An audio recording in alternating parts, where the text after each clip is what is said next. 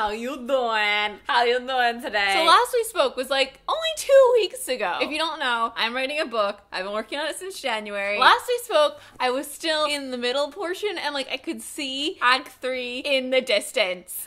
The other day, I broke into Act 3.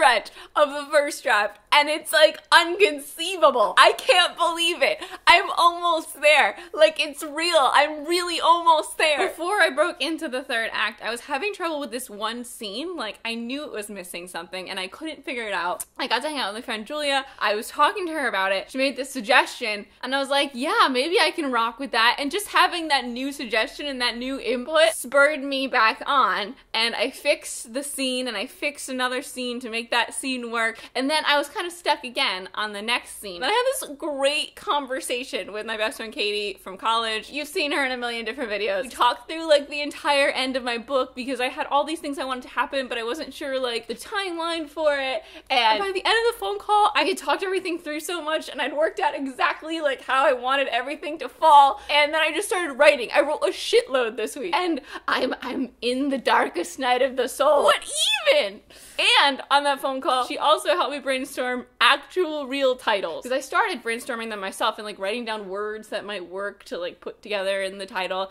And then we had a nice brainstorm session. And I came out with a tentative real title. It's two words, I can tell you that.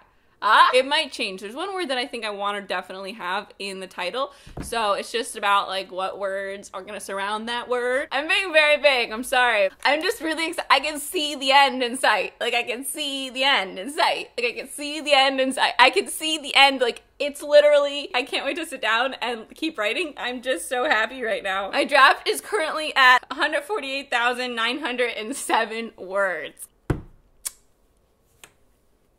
I just, so excited. I'm so finished with this story that I've wanted to tell for so long. I have some questions to answer from you guys. I'm constantly being asked about the genre and if it's gonna be YA. The main character is 20, she's almost 21, and it's a contemporary. And it definitely has like a comedy undertone to it. A lot of people are asking me what my inspiration was for writing, and it's definitely things that have happened in my life have inspired this book. Zoe has asked me, what are my writing snacks? This is very, very important. My writing snack and my only writing snack is going to Starbucks and getting my tall iced green tea latte sweetened with light ice. This past two weeks when I've been writing so much, I've actually I've gone like almost every day. It's so helpful to have that boost of sugar and milk and delicious green tea. Mmm, I'm gonna get one after this. Oh, sometimes I also grab a pumpkin bread from Starbucks. Someone asked me, is there one book that made you want to write your book? That like after that you were like, I want to write my own book. I mean, like I always had in the back of my mind, like I love telling stories. You know, in school when we had to write stories, it was my favorite thing. But I remember specifically when I read Twilight after I finished that book, I was like, I can write a book. I can do this. Like I really believe that I can write a book. And it had felt like a very daunting, difficult thing that I wasn't sure I'd be able to accomplish before that. But after Twilight, I was like,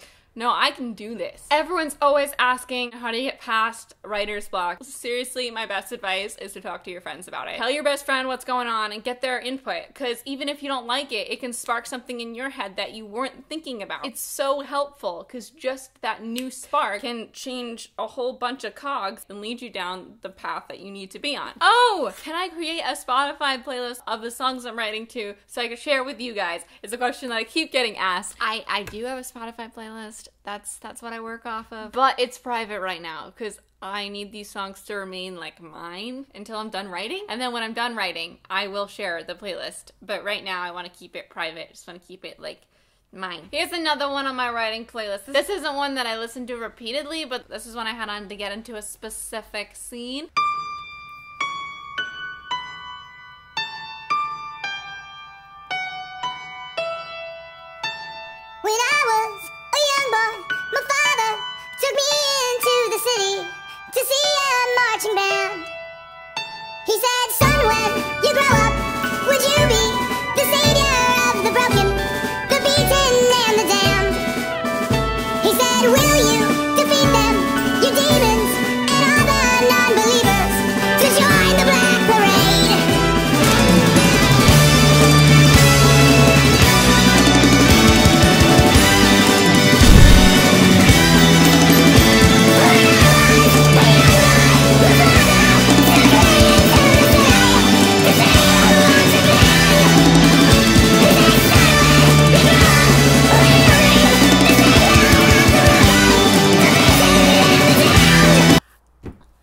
Yeah.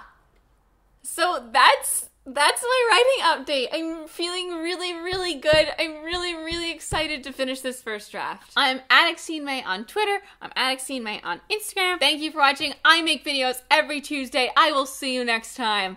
Goodbye.